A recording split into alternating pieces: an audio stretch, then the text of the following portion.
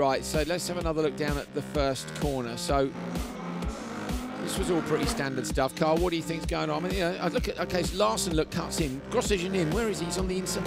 Look at that. He's just basically he's just got it. Okay, we don't see Grosjean in here. Little push, little Yeah. love tap from uh, Chicherit and uh, Timerzyanov. Watch Grosjean in here. Has in the wall? It doesn't take Yeah, much. All it takes is three oh. kilometers too fast, and boom, you're in the he's, wall. he's just been gripped up by the tyres, I think, because Timmer was close enough maybe to see. Look at Larsson, though, with that big recovery from the slide as well. And then poor old Timmer, you know, was that damage or was it more uh, that he was distracted and maybe not in the right gear? it, yeah. Yeah. Oh.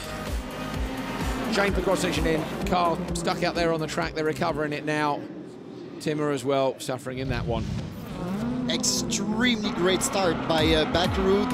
Uh, little wheel spin, but he still managed, and he had plenty of time to cut the track while Hansen got caught with a little contact.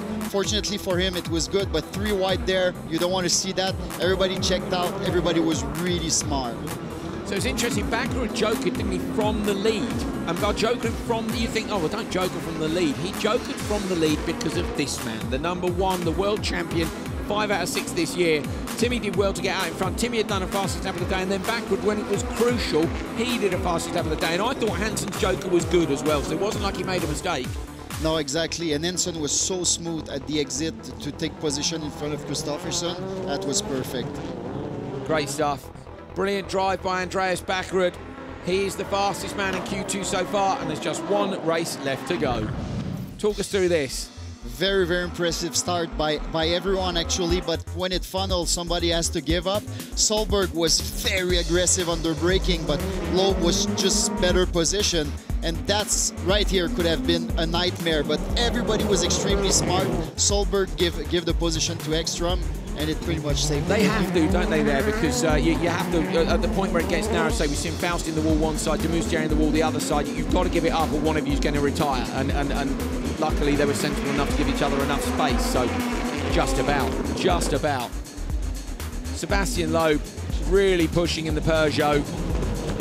Fantastic stuff. The nine-time World Rally Champion is the only man other than Johan Kristoffersson to have won an event this year. Can he win here in Canada? He is the overnight top qualifier. Sebastien Loeb dominant so far this weekend. There you see it, two wins from two sessions. Mattias Ekstrom P2, the best of the Volkswagens, currently P3, and it's not Johan Kristoffersson this weekend.